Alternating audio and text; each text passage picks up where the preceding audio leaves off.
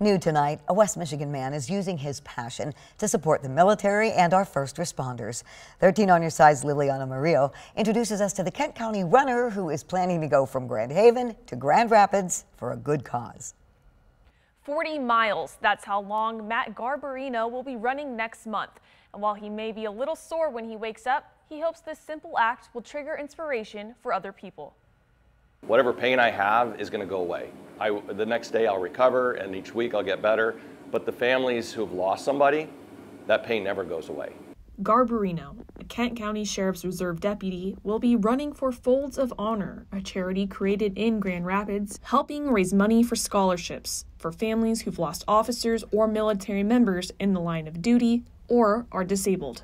And this isn't the first time he's challenged himself to support a greater cause. In 2018 and 2019, I ran across the state of Michigan um, really to raise awareness for fallen police officers and their families.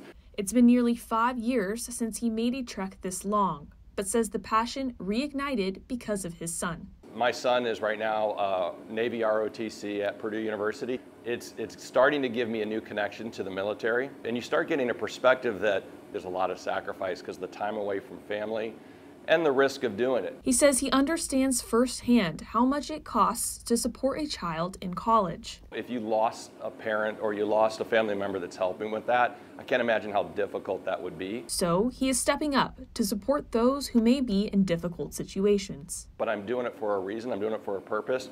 People that serve do the same thing. And not everyone sees what they're doing, but they're doing it for a purpose and it's, it's, it's making a difference in you know, in our communities. There's an opportunity for others in the community to get involved as well. The last nine miles of his run will be open to the public. I would love the community to come out on a cold day, um, and if they want to run part of it or all of it with me, I would love to see that. For 13 on your side, I'm Liliana Murillo.